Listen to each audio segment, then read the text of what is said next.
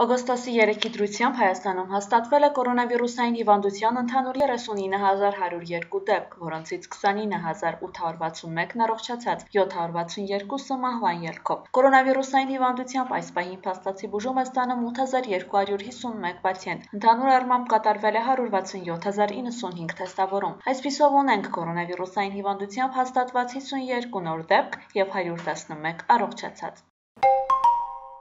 Մահվան դեպքերի վերաբերյալ ԱՆՀ-ից հայտնում են, որ պացիենտներից ամենաերիտասարդը եղել է 58 տարեկան կին, իսկ ամենատարեցը 90 տարեկան տղամարդ։ Բոլորն ունեցել են ուղեկցող քրոնիկական հիվանդություններ, այլ պատճառով մահվան դեպքեր չեն գրանցվել։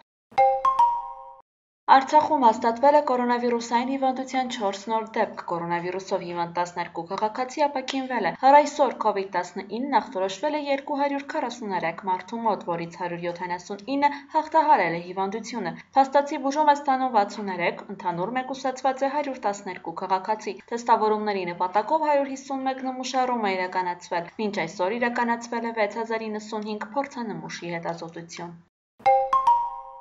Աշխարհում նոր տիպի կորոնավիրուսով վարակման հայտնաբերված դեպքերի թիվն օգոստոսի 3-ին գերազանցել է 18 միլիոնը։ Այս պահին վարակվածների թիվը կազմում է 18 միլիոն 17556, մահացել է 687930 մարդ։ Ընդամենն առողջացել է 10 միլիոն 642251 ախտահարված։ Ամենից շատ վարակումներ արձանագրվել են ԱՄՆ-ում, այնուհետև գալիս են Բրազիլիան եւ Հնդկաստանը։